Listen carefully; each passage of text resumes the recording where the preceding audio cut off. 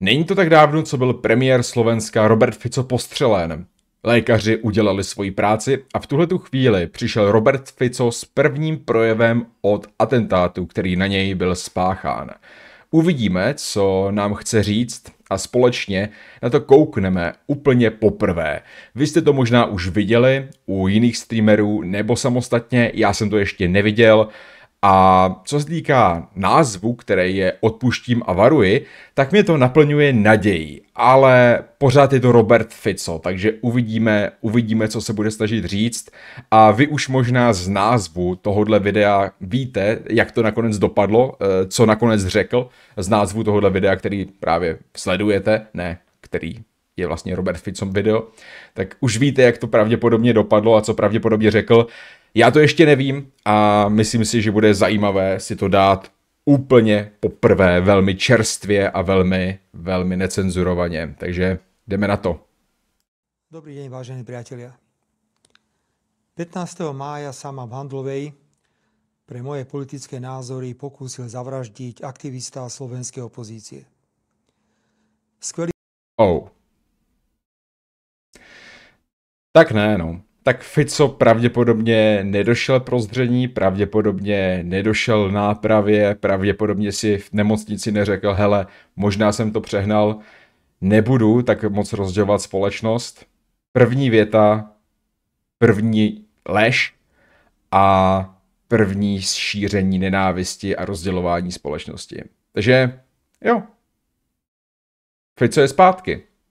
Uvidíme, co bude říkat dál. Takže atentátník slovenské opozice, to je samozřejmě naprostá lež. Atentátník neměl se slovenskou opozicí myšleno s politickými stranami slovenské opozice téměř nic společného. Ten atentátník byl sám o sobě opozice.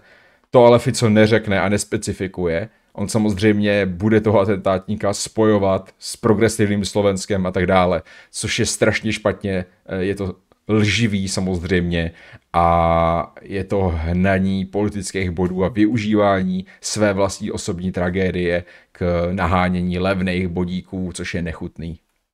Zdravotnický tým v Rooseveltovej nemocnici v Banskej Bystrici zabránil najhoršiemu. Teraz sa už rovnako kvalitne ambulantne o mňa stará nemocnica svätého Michala v Bratislave. Ak všetko pôjde optimálne, Postupne by som sa do práce mohol vrátiť eh, na prelome júna a júla. Takže v létě máme Fica zpátky. Jak na vás působí? Na mě působí psychicky relativně podobně jako před střelbou, možná to maskuje. Eh, hlas má možná trošku roztřešenější, trošku zlomenější, ale to může být ještě stálým vyčerpáním. Uvidíme, jakým způsobem eh, na něho ten útok eh, dopadl po psychické stránce. Je na čase, aby som urobil prvý krok a tým je odpustenie. Okay. Necítim žiadnu nenávisť voči neznámemu človeku, ktorý ma dostrielal. Nebudem voči nemu vyvíjať žiadne aktívne právne kroky ani žiadať náhradu škody. Odpúšťam mu a nech si to, čo učinil a prečo tak učinil, vysporiada on sám vo svojej hlave. Nakoniec je evidentné, že bol len poslom zla a politické nenávisti, ktorú politicky neúspešná a sfrustrovaná opozícia rozvinula na Slovensku do nezvládnutelných rozmerov. Možná jste už viděli, eh, kdo tady šíří politickou nenávist na Slovensku. Možná uh, jste viděli, kdo šířil agresivní výroky proti opozici. Rozhodně to nebyla Čaputová, rozhodně to nebyl Šimečka, byl to Fico a jeho kamarádi. Nicméně vypadá to, že to chce navléct opravdu na tu opozici. Odpouští přímo atentátníkovi, konkrétní osobě, konkrétní osoba, která se ho pokusila zavraždit, získává odpuštění a místo toho rozjíždí lov na čarodějnice, kolektivní vinu a všechny tyhle ty věci. Takže on odpustí konkrétnímu vrahounovi a rozjede hate na kolektiv. To je hodně ficoidní a to je hodně palpatínovský. Treba očakávať, že protivládne médiá politické mimovládne organizácie financované zahraničím a opozícia začnú pokus o moju vraždu bagatelizovať. Že išlo iba útok poblúzneného človeka, že medzi ním a opozíciou neexistovali žiadne prepojenia, že poškodenie môjho zdravia nie je vážne. Vždy som si chránil svoje súkromie, preto aj to je samozřejmě lež, že jo. Nikdo nebagatelizoval to, že Ficova zranění nejsou vážná. Jestli někdo řekl, že zranění nejsou třeba vážná v tom smyslu, že ho neohrožují na životě, tak to bylo s cílem uklidnit společnost, vyjádřit nějakou úlevu a tak dále, ale Fico využil i tenhle ten projev dobré vůle opozice jakožto zbraň proti ní.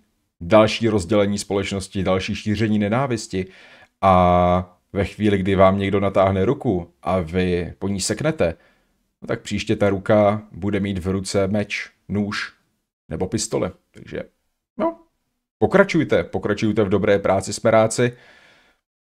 Očividně jste se nic nenaučili. Aj teraz sa obmedzím len na konštatovanie, že útok mi spôsobil vážne poškodenie zdravia. Opakované operácie, veľa bolesti a utrpenia. Bude malý zázrak, ak sa do práce vrátim o niekoľko týždňov. Chcem požiadať protivládne médiá, najmä tie, ktoré sú spoluvlastnené finančnou štruktúrou Soroša, aby sa nepúšťali touto cestou a rešpektovali nielen závažnosť dôvodov pokusu o vraždu, ako aj následkov tohto pokusu. A opäť ich vyzývam, aby urobili už známy test Robertom Ficom. Ako by sa správali, keby sa niečo obdobné stalo jednému z lídrov slovenskej opozície a útočníkom by bola osoba s prepojeniami na smer slovenskú sociálnu demokraciu.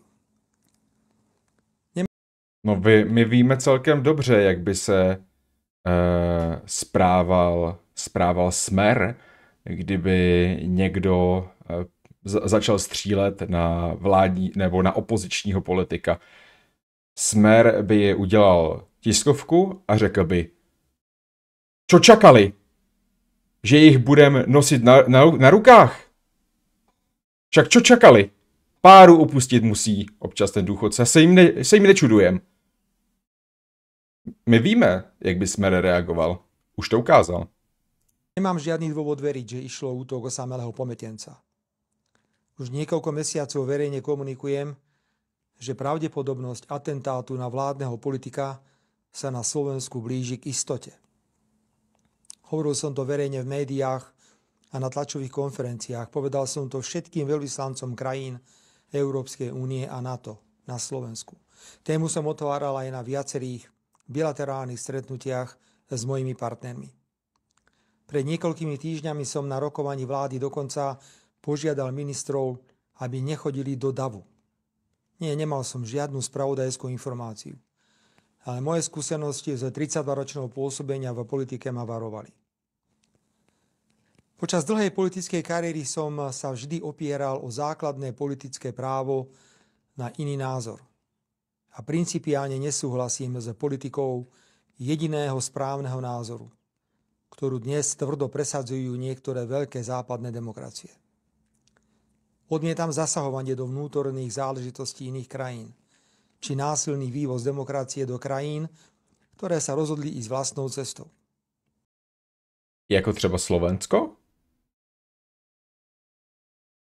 Ne, to tím myslel, nebo to je neuvěřitelný, co tady slyšíme? Ten Fico je fakt nepoučitelný. To je neuvěřitelný. Slovensko nemá ekonomické a vojenské nástroje na silové presadzovanie svojich záujmov. Musíme sa preto neustále usilovať o dôsledné dodržiavanie medzinárodného práva a mať odvahu pomenovávať veci pravdivo, bez ohľadu na to, aké veľké krajiny sa dotýkajú. Ak má malá krajina ako je Slovensko politických lídrov s takouto výbavou, nemá to v medzinárodných vzťahoch vždy jednoduché.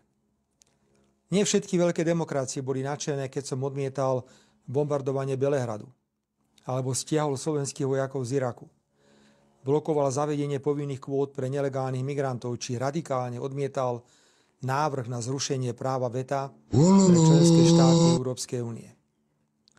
Tak konečně se s Ficem na něčem zhodnu. Právo VETA musí zůstat. To je jediný způsob, jak uchovat Evropskou unii stabilní, pevnou a bezpečnou. Eh, pardon, pardon, eh, nějak mě to naskočilo, když slyším to, co Fico říká. Omlouvám se. Sebavedomá, suverénna slovenská zahraničná politika, vychádzajúca síce z členstva v EÚ a v NATO, ale orientovaná na všetky štyri svetové strany, nie je jednoducho v móde. Situácia vo vzťahoch medzi mojou tak ono hlavně eh, dělat politiku orientovanou na všechny čtyři světové strany pro stát, jako je Slovensko, je dlouhodobě neudržitelný. Eh, ty splátky jednoho dne budou muset přijít. Viktor Orbán si jednou přijde pro splátku, Vladimír Putin si jednou přijde pro splátku a Robert Fico na ní nebude mít politický kapitál. Eh, Robert Fico nemá plán, co s krajinou dělat. Eh, on chce pouze svoje vlastní cíle, chce pouze svůj vlastní moc. Není dost chytrý na to, aby plánoval takhle složitý věci. A je to vazal Viktora Orbána, takže to je celý. Jo. Není tady žádný plán, není tady jakákoliv vize Roberta Fica ani smeru. Oni mají pouze vlastní krátkodobý zájmy a ženou. Vsadím se s váma. Slovensko. 300 babek, že nachčiju do tamhle té sklenice vzadu a neukápnu ani kapku. Do trosek. Děkuji ti za 40 korun. Pokračujeme, Roberte Fico. politickou reprezentáciou a partnermi v EÚ a v NATO sa vyhrotila po ruskom útoku na Ukrajinu, kde sme odmietli poskytnúť Ukrajine okrem humanitárnej pomoci akúkoľvek vojenskú pomoc zo štátnych zásob a kde naďalej zásadne uprednostňujeme mier pred vojnou. Je to... Nepoučitelný, absolutně nepoučitelný. Mám se opakovat, mám to zase vysvětlovat. Já si myslím, že každý už to chápe a kdo to nechápe, chápat nechce. Práve konflikt na Ukrajine, ktorý v Európskej únii a v NATO ešte viac posilnil, doslova posvetil koncept jediného správneho názoru. A to, že vojna na Ukrajine musí pokračovať za každú cenu s cieľom oslabiť Ruskú federáciu. Kto sa s tým ano, s cílem oslabit Ruskou federaci, aby nadále nepodnikala svoje agresivní výboje do všech stran. Aby Ruská federace se zbavila svého nacionalistického a odporného pocitu nadřazenosti nad ostatními národy. Aby přestali pochodovat v Ruské federaci děti po ulici a vzývat Putina jako velikého vůdce. Ano, chceme, aby Ruská federace byla změněna tím, že prohraje tuto válku. V pořádku. Tímto jediným povinným názorom nestotožňuje. Je okamžite označovaný za ruského agenta – je medzinárodne politicky odsúvaný na okraj. Je to kruté konštatovanie, ale v Európskej únii prestalo existovať právo na iný názor. Po vyhratých parlamentných voľbách v septembri 2023, keď sa smeru slovenskej sociálnej demokracii podarilo zostaviť štvrtú vládu, začalo dochádzať k absurditám.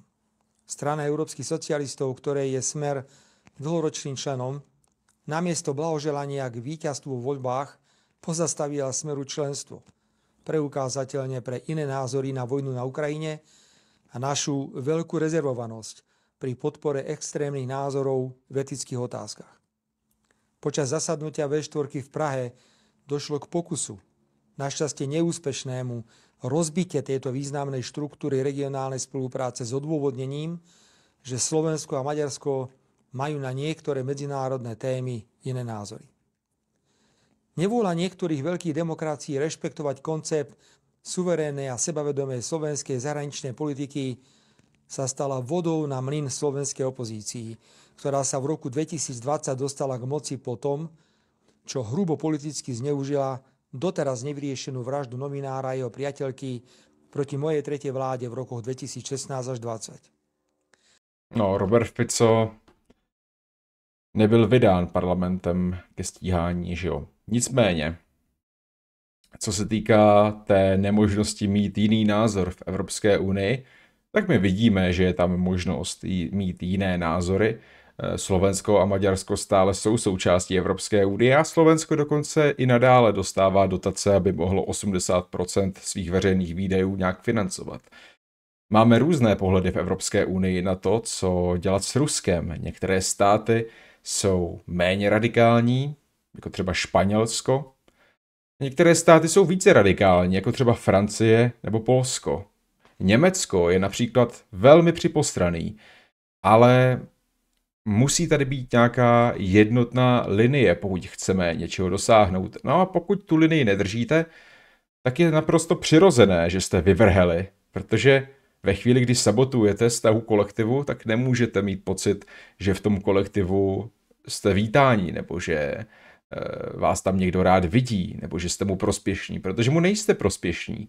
Zkrátka je dobře ve chvíli, kdy budete vzdorovat a následně přijde protireakce těch, kterým vzdorujete a kterým házíte vidle do toho, co chtějí dělat, tak se nemůžete divit, že ta protireakce nebude přívětivá, nebude přátelská. Zkrátka je dobře vzdor a pak pláč. Slovensko je Slovenskem a Fico je Fico. Střelba, nestřelba. Vláda, ktorú v rokoch 2020 až 2023 vytvorila opozícia, sa plne podriadila záujmu veľkých krajín. A predovšetkým po začatí vojny na Ukrajine okamžite prijala koncept jediného správneho názoru a doslova vyrabovala slovenské ozbrojené sily. Znížila v zásadnej miere obrany schopnosť Slovenska a nekriticky sa postavila na stranu krajín presadzujúcich vojenské riešenie konfliktu na Ukrajine. Za to to jsem si nevšiml, že by se předchozí slovenská vláda postavila na stranu Ruska a Běloruska. Hm. To, je, to je trošku chyba, pane Fico. Oni se postavili na stranu Ukrajiny, která se brání válce a která chce tenhle ten konflikt co nejrychleji ukončit tím, že Rusko se stáhne z území, kdy nemá co dělat. Ale hod Rusové mají příliš velkou náladu válčit, no a tím, že vy eh, nedovolujete Ukrajině se bránit, tak podporujete Rusko v útočení a zabíjení lidí, takže předchozí vláda se nepostavila na stranu těch, kteří chtějí řešit tento konflikt vojensky. Vy to děláte. Si mohla na Slovensku vláda robiť čokoľvek. V rokoch 20 až 23 došlo k masívnemu zneužívaniu trestného práva na likvidáciu opozície. Bez dôkazov boli obviňovaní a do väzby posielaní predstavitelia opozície boli podozrivé úmrtia vo výkone väzby. Ako opozičný líder som bol štyrikrát bezdôvodne obvinený za politickú činnosť. Celé tri roky sme upozorňovali Európsku úniu na situáciu na Slovensku. Nepadlo však ani jedno jediné slovo kritiky na adresu kvality právneho štátu na Slovensku a na vyčíňanie vlády pri zneužívaní trestného práva na likvidáciu opozície. Nikto, ani na pôde Európskej únie, ani z predstaviteľov jednotlivých veľkých západných demokracií sa ani len nespýtal na úmrtie advokáta Krivočenka, generála Lučanského, na preukázateľne zmanipulované trestné konania. Pre veľké demokracie bol... Prokazatelně zmanipulované trestné konání. Hele, vzhledem k tomu, že nikdo v Evropské unii si nemyslí to samé, co Robert Fico, tak začínám mít pocit, že Robert Fico si možná myslí věci špatně, když je jediný, kdo si je myslí, jediný, kdo je nějak relevantní a myslí si je. Ve chvíli, kdy nikdo jiný tyhle ty pochybnosti neměl, ve chvíli, kdy Slovensko nebylo kritizované za tyhle věci, tak skoro vypadá, jako kdyby je nedělalo. Jo? Protože všechny ostatní země i ty země, které vlastně byly ideologicky na stejné vlně jako předchozí Matovičova vláda, tak ve chvíli, kdy dělala nějaký hovadiny, tak za to dostala vyčiněno. Skoro jako by se Fico tady snažil poukazovat na to, že je tady zase nějaké spiknutí všech ostatních proti němu a Slovensku. Všichni se spikli proti Slovensku, protože všechny zajímá Slovensko a především Robert Fico, ten zajímá úplně každého. To je střed vesmíru. Ano. Bolo podstatne viac ako právny štát. Dôležité mať na Slovensku k dispozícii politické sily, ktoré boli a sú pripravené urobiť čokoľvek pre cudzie záujmy, aj keď je to v príkrom rozpore so slovenskými národnoštátnymi prioritami. Po parlamentných voľbách v septembri 23, keď Smer postavil štvrtú vládu, opätovne so svojimi koaličnými partnermi potvrdil politiku suverénnej a sebavedomej slovenskej zahraničnej politiky orientovanej na všetky štyri svetové strany. Súčasná opozícia, povzbudená ochranou rukou veľkých demokracií v rokoch 20 až 23, pokračovala v útokoch a obviňovaniach vlády. Vedela a vie, že presadzovanie práva na iný názor a sebavedomej a suverénnej slovenskej zahraničnej politiky nemá oporu v medzinárodných organizáciách, ktorých je Slovensko členom. Které přesně sebevědomé politice Robert Fico mluví? O tom, že v Evropě říká něco jiného než doma? O tom, že doma dělá ramena a v Evropě je poslušný pejsek? Tohle je ta klasická sebevědomá politika. No to je rakousko-uherská politika vídeňského typu v Praze jinak než ve Vídni, že jo? A co to přineslo? Přineslo to Rakousko-Uhersko, nikoli Rakousko-Uhersko-Česko. No a Slováci pokračují v téhle submisivní podivné politice, kdy to hrajou na všechny strany, no nakonec spláčou nad vejdělkem, tak jako každý, kdo to hraje na všechny strany. A súčasne dávala a dáva jasne najavo, že je zástancom jediného povinného názoru. Je za vojnu na Ukrajine, je za zrušenie práva VETA, považuje Rusko a Čínu za smrteľných nepriateľov. Od volieb v septembri 23 stúpajúcej a dobre živenej opozičnej agresivite preto opäť nikto nenastavoval zrkadlo ani médiá, ani mimovládne organizácie, ani hlava štátu, ani Brusel či NATO. Fyzické vyhrážanie sa významným vládnym politikom, ako to bolo napríklad v prípade poslancov Národnej rady Erika Kaliňáka a jeho manželky, či Luboša Blahu, sa preto pre agresívnych predstaviteľov opozície stalo akceptovateľnou normou. Nenávisť a agresivita súčasnej opozície, krytá a tolerovaná mienkotvornými médiami, mimovládnymi organizáciami financovanými zahraničím a žiaľ bez akejkoľvek reakcie medzinárodných organizácií vyvrcholila po úspešných prezidentských voľbách koaličného kandidáta Petra Pellegriniho na jar tohto roku. Připravte se, že na Slovensku se zavedou zákony, které se teďka projednávají v Gruzii. Slovensko jde ruskou cestou. Bratislavská kaviareň agresívne, často aj fyzicky, útočí na vládnych predstaviteľov. Opozícia vysiela na oslavy štátnych sviatkov platených provokatérov, ktorí hrubo urážajú ústavných činiteľov. Herci potom, čo politicky vystúpia na opozičných mítingoch, útočia na vládnych predstaviteľov počas divadelných predstavení alebo sú hrubo zneužívané priame prenosy RTVS. Opozícia neprejavuje žiadny rešpekt k výsledkom demokratických parlamentných volieb, k autoritám. A treba dodať aj to, že vláda Smeru nepristúpila po parlamentných voľbách v septembri v roku 2023 k žiadnemu očakávanému revanšu za vyčíňanie opozície v rokoch 2020 až 2023, keď bola vo vláde. Vážení priatelia, 15. maja v Handlovej to teda nebol útok eh, nejakého pometenca. Opozícia zneužíva to, ako veľké demokracie presadzujú jediný povinný názor v zásadných zahranično-politických otázkach. Miluji to, jakým způsobem vlastně obhajuje toho atentátníka a hází vinu na někoho úplně jiného. Jo, v podstatě, kdybych se teďka sebral a šel střílet po Ficovi, tak jsem z obliga, protože za to může opozice, ne já. Odmietajú suverénne postoje malých krajín. Vo vnútroštátnej slovenskej politike sa to prejavuje tak, že akékoľvek násilné a nenávisné excesy proti legitímnej vládnej moci sa na medzinárodnej úrovni tolerujú bez akéhokoľvek komentára. Opozícia nebola schopná posúdiť, pretože ju k tomu nikto nenútil kam svojou agresívnou a nenávisnou politikou dostala čas spoločnosti. A bola iba otázka času, kedy dôjde k tragédii. A dnes som už konštatoval, že po tom, čo sa mi stalo 15. mája, kedy som v Handlovej nešiel do davu, ale k malej skupine priateľských mávajúcich ľudí, by som mal byť plný zlosti, nenávisti a pomstychtivosti. Ale to naštěstí nejseš, Robo. To naštěstí nejseš. Jenom si posledních 12 minut mluvil o tom, jak je opozice odporná, zlá, jak se proti tobě všichni spikli a proti Slovensku ještě víc. Odpor proti politikovi, s ktorým nesúhlasíte, sa nerieši tak, že ho zastrelíte. Vy ho prostě Naopak, jenom... Rád by som vyjadril presvedčenie, že... Vy ho prostě jenom musíte pomluvit, brutálně zhejtit, Vy musíte jenom probudit tu nenávist a omezit jeho svobodu slova. To je ta cesta. Všetka tá bolesť, ktorou som prešiel a prechádzam, poslúži niečomu dobrému. Ľudia mohli na vlastné oči vidieť, aká hrôza môže nastať, ak niekto nie je schopný demokraticky súťažiť a rešpektovať iný názor. Ani ja nie som žiadny politický aniel, viem byť veľmi tvrdý. Ani vlády, ktoré vediem, neboli a nie sú dokonalé, určite by sa mnohé veci dali robiť inak.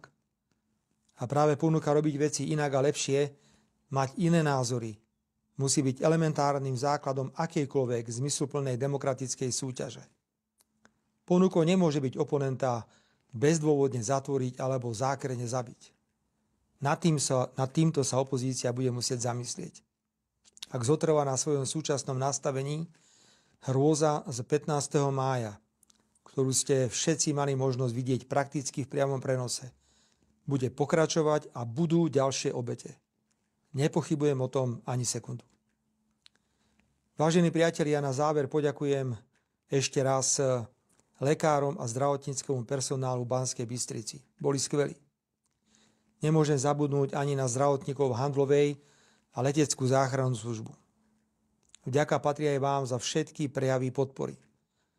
Rozsahu tejto podpory sa dozvedám až teraz a bola a je neuveriteľná. No. Veľmi si to vážim. Verím, že sa spoločnosť upokojí a že sa čoskoro zmysluplne a pokojne stretneme. Všetko dobré a držme si palce. Tak jste to slyšeli, dámy a pánové. Za útok na Roberta Fica nemůže útočník, který byl prokazatelně velmi rozpolcená osobnost s napojením na různé politické směry, člověk, který byl jakožto profilem politického atentátníka byl velmi podobný útočníků um, například z Dallasu, který střílel po Kennedym. Jo, taktéž velmi rozpolcená osobnost, která chvilku byla komunista, chvilku kapitalista. Tady taky jsme viděli u pana C, jakým způsobem eh, zacházel se svými názory. Byl to tak trochu vyšinutý jedinec, který nevěděl, co se sebou. No toho atentátníci bývají, ale Robert Fico se rozhodl, že bude útočit na opozici. On samozřejmě získal obrovský politický kapitál, jelikož přežít pokus o atentát je obrovská věc a je to to nejlepší, co se politikovi může stát. A jen je asi ode mě moje vlastní chyba nebo moje vlastní naivita mě v tuhle tu chvíli způsobila daleko větší zklamání, než které jste zažili možná vy.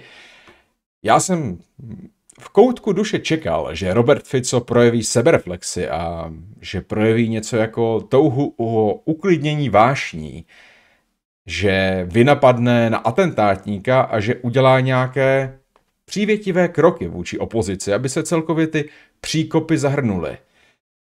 Byl jsem naivní. Byl jsem naivnější než mnoho z vás, ale i tak jsem trochu doufal, no a z toho důvodu jsem o to více znepokojen, o to více zklamán a o to více vydám to video, které jsem se stříhal a které v shortech odkazuje na tohle video, na tuhle reakci. Dámy a pánové, napište mi prosím do komentářů, co vy si o tomhle prvním vstupu myslíte, co na vás dýchlo z Roberta Fica. Na mě dýchlo vábení moci a vědomí toho, jakým martýrem se stal a dýchá na mě nastupující totalita na Slovensku. Dýchá na mě neschopnost médií a opozičních politiků vytvořit dostatečný protiargument na to, co Fico tady šíří a dýchá na mě vyloženě bezzubost, bezzubost slovenské opozice a slovenských médií a jejich neschopnost správně zareagovat na tyhle naprosto odporné urážky a našknutí z úst Roberta Fica, který očividně chce, aby se dál na Slovensku střílelo, protože proto dělá všechno. Dělá všechno proto, aby další výstřely zazněly a další politici získali svoji vlastní střelu do hrudníku, do břicha a do nohy. Takže tak, na Slovensku se můžeme v úvozovkách těšit na velmi nechutné dění. A to především proto, jak nechutný je slovenský premiér.